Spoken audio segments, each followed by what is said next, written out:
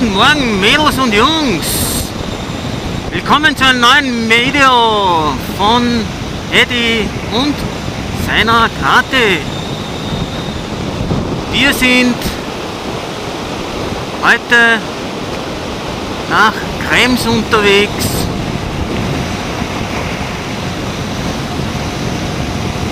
Da wir dort ähm, einen Kollegen treffen und ähm, die Strecke unserer Ausfahrt einmal abfahren.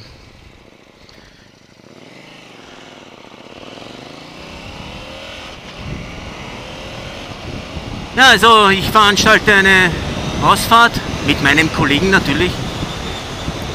Und ähm, natürlich fahren wir die vorher ab, damit es keine Überraschungen gibt wie Baustellen, Sperren oder sonst irgendetwas.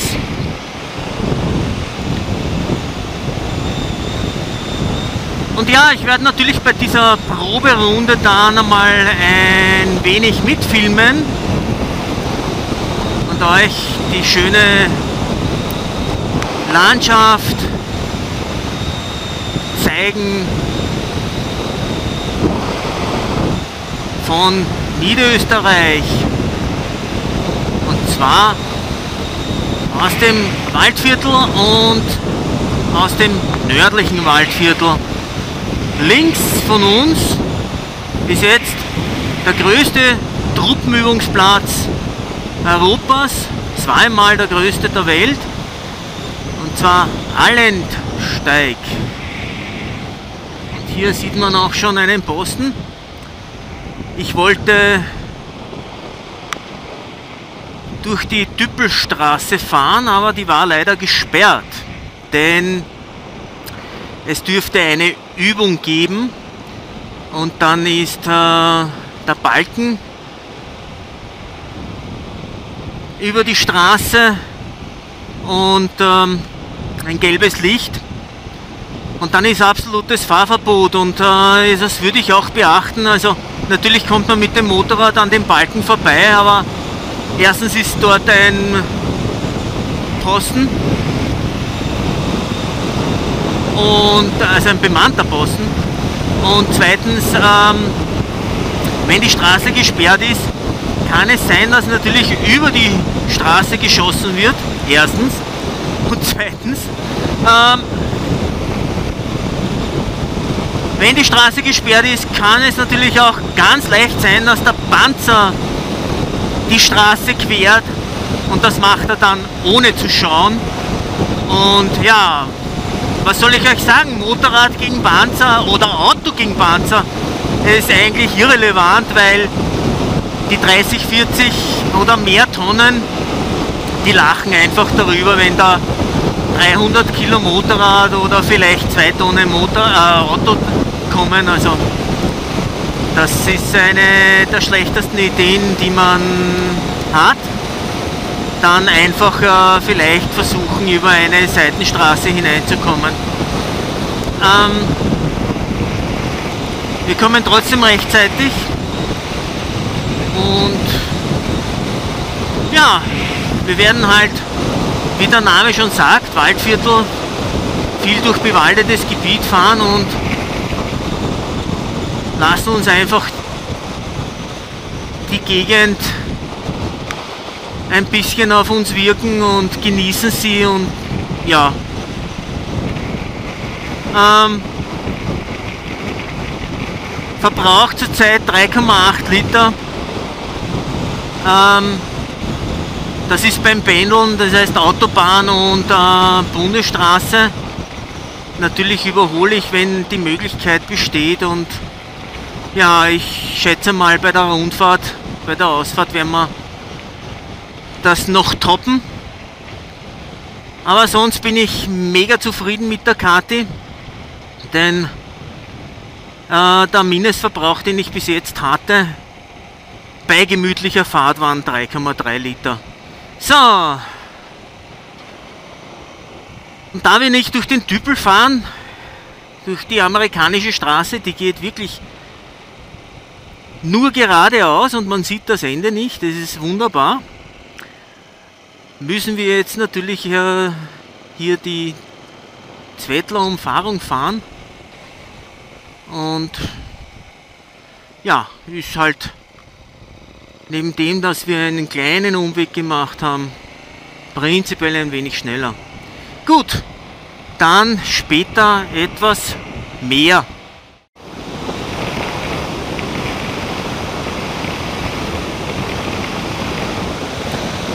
So, jetzt fahren wir mal ein Stück Strecke ab. Und ähm, schauen uns auch die schöne Gegend an. Wir hatten schon ein paar schöne, kleine, kurvige Straßen. Aber natürlich geht nicht alles nur kurvig dahin und jetzt sind wir schon in Ottenschlag.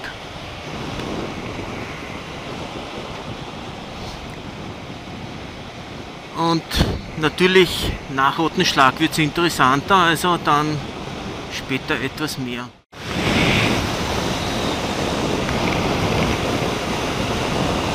Und da wieder draußen und Oldies unterwegs.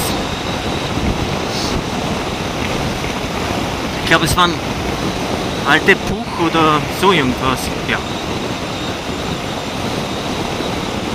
Schauen wir noch, dass wir den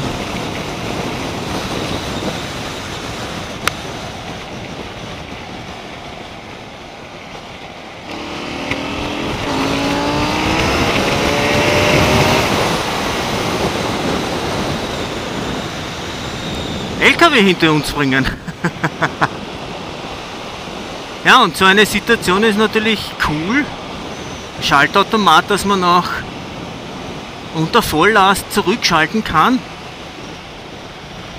Denn wenn es einmal schnell gehen muss, dann einfach zurückschalten.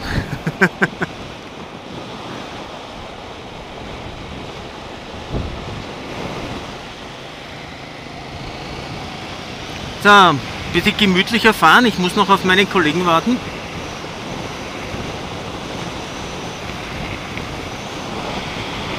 Ah, ist schon da.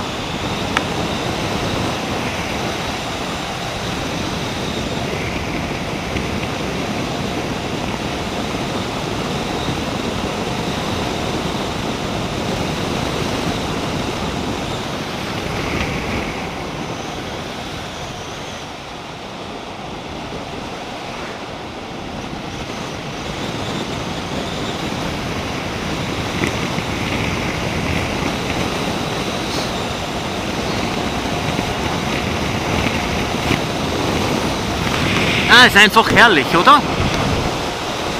Ich liebe diese Gegend.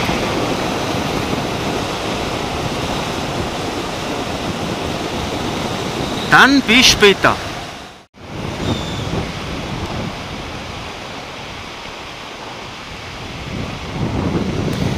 So, jetzt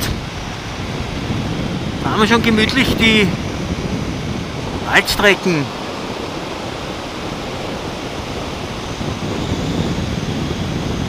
haben, testen schon mal die Straßen aus und genießen auch die herrliche Landschaft. So.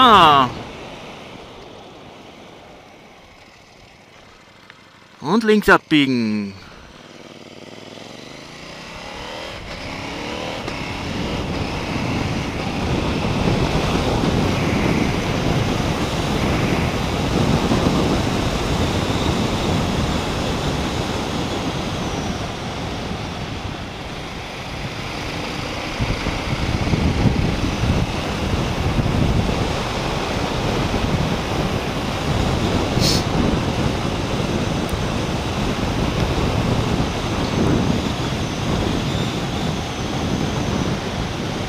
Natürlich ist es echt herrlich hier zu fahren.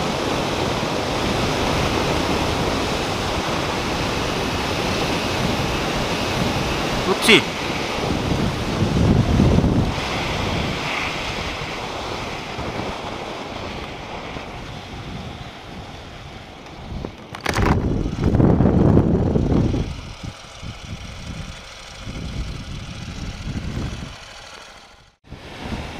Ich habe mein Spiegelglas verloren.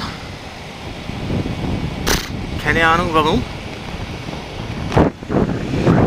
Muss dann einmal am Video schauen, ob man da was sieht. Naja.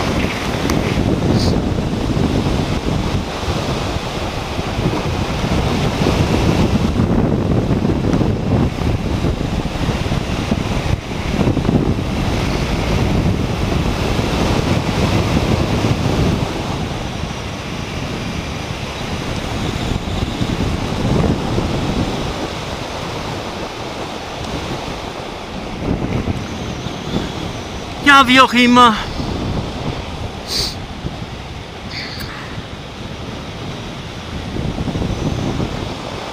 Werde ich mal mit meinem KTM-Händler sprechen diesbezüglich. Aber ich lasse natürlich meine Freude auf Motorradfahren deswegen nicht schwinden und wir genießen weiterhin die Strecke.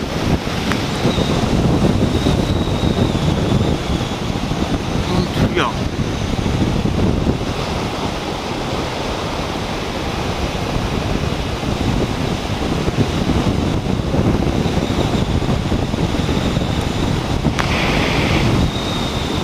Komisch, komisch.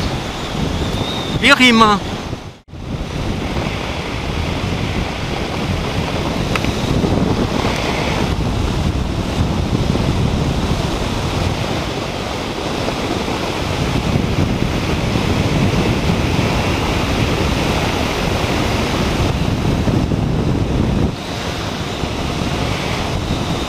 und jetzt äh, sind wir unterwegs zur Mittagspause.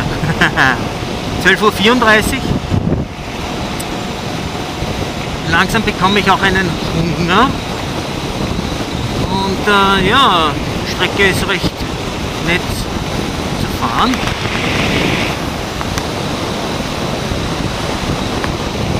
Neu asphaltiert,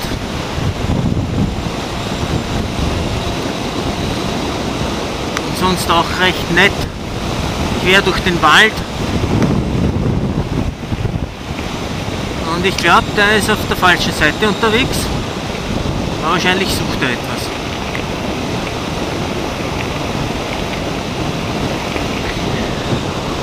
Und ja, die ist wunderschön zu fahren. Ich liebe sie. Und ja, ich habe natürlich nur mehr Bruchteile von meinem Spiegel gefunden. Ahnung, was da war. Aber er ist weg. Und ähm, ja, ich habe nur was da auf der Hand oder so gespürt. Und äh, ich habe dann geschaut und war auf einmal der Spiegel weg.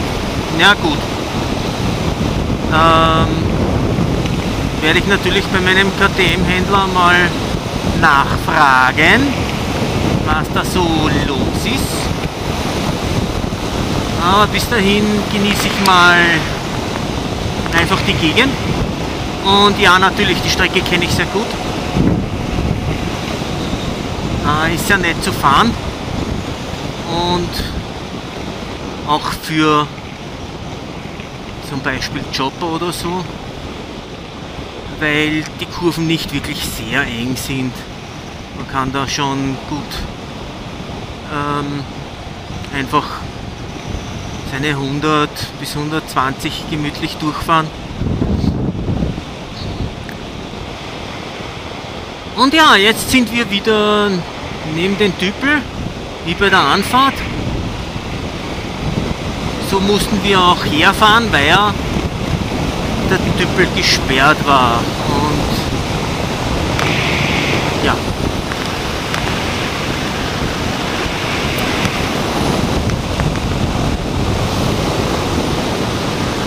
Ja, sonst gibt es eigentlich nicht wirklich viel.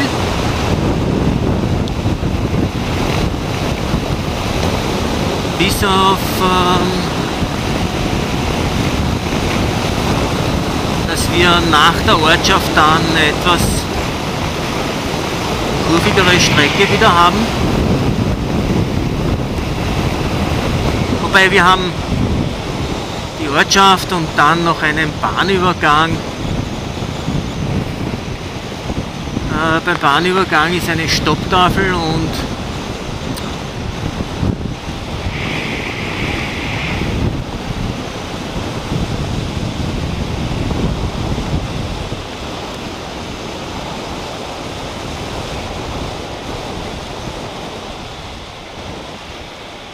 Nur es bleibt keiner stehen. Bundesheer schon gar nicht.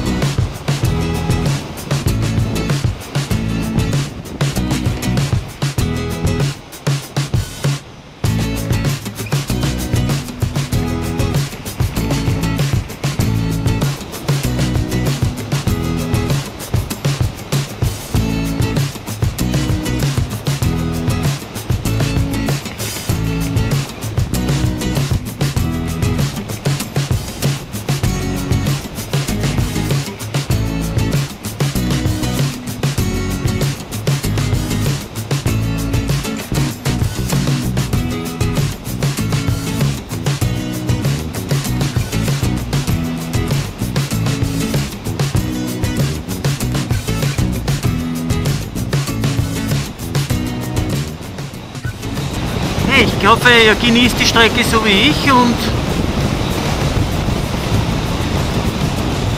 habt Spaß am Mitfahren.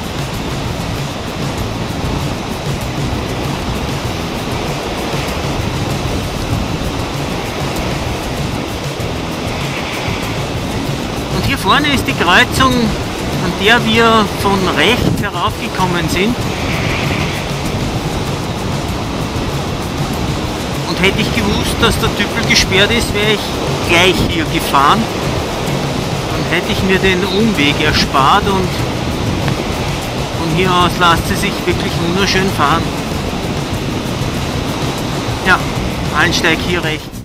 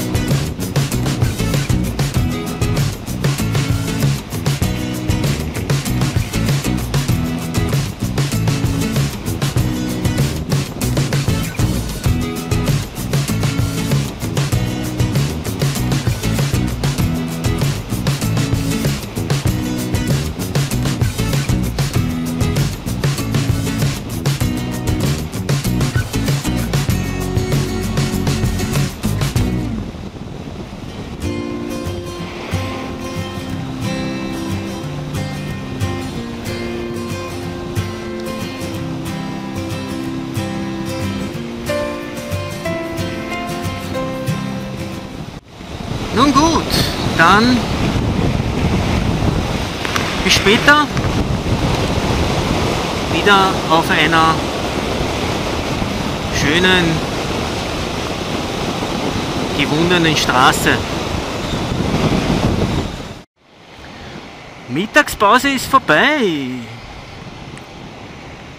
Und jetzt geht's gemütlich weiter nach dem Mittagsschmaus machen wir uns auf zur Rückfahrt.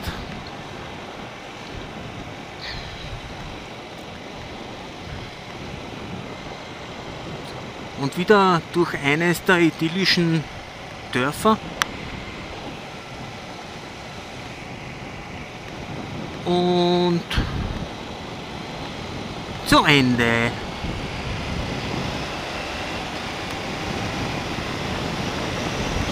Ja, bei KTM habe ich mich gemeldet. von einem Händler. Er hat gesagt, eigentlich ist noch nie passiert, dass ein Spiegel verloren geht. Und, also das Glas, aber äh, er schaut sich das gerne an. Nur da ich ja heute noch auf der Runde bin, ähm, fahre ich dann auch morgen hin. Und mal sehen, was er sagt. Ich habe keine Ahnung. Ich habe es auch nicht gesehen. Vielleicht hat er einen Sprung bekommen und ist äh, herausgefallen. Ich, ich habe echt keine Ahnung. Also irgendwie kurios, aber wie auch immer. Also mir wäre nicht aufgefallen, dass ich irgendwas berührt hätte oder sonst irgendwas, aber ja. Es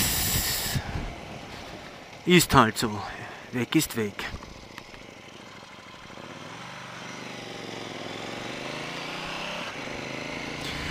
Und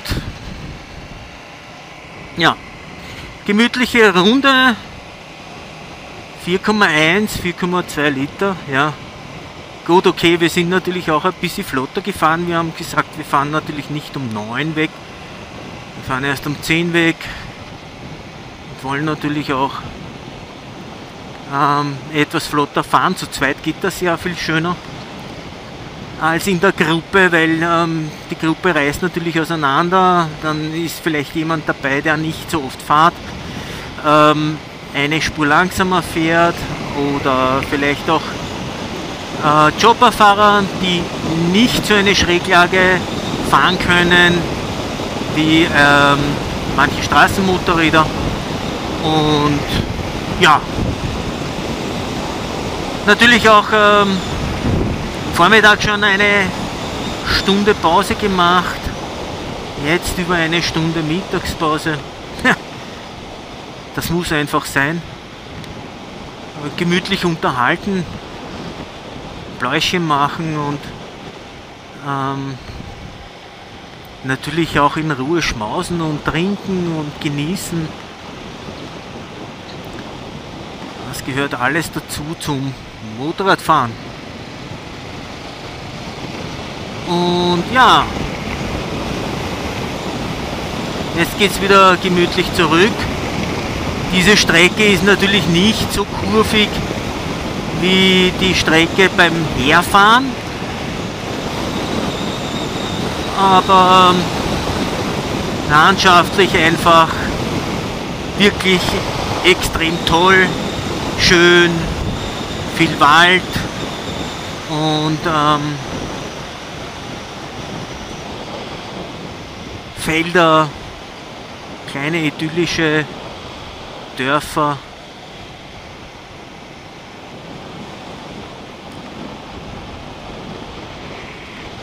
Mit Bauernhöfen, also ja, einfach nur ja, herrlich, traumhaft zum Anschauen und zum Durchfahren.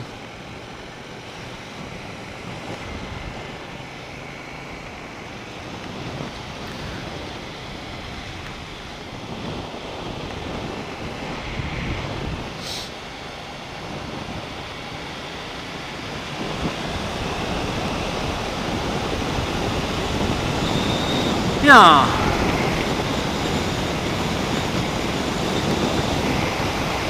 Das ist es mal. Glas natürlich ein bisschen eingeschalten für euch und ihr könnt mich noch ein schönes Stück begleiten mit ein bisschen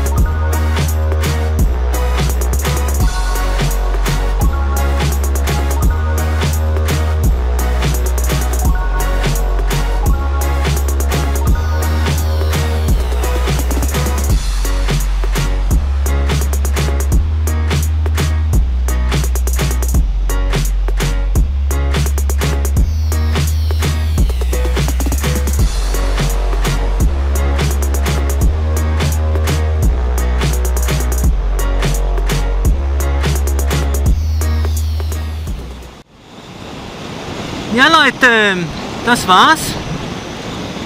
Mir bleibt eines zu wünschen, eine unfallfreie Saison 2019 und natürlich nur noch eines zu sagen, wie immer, oben bleiben.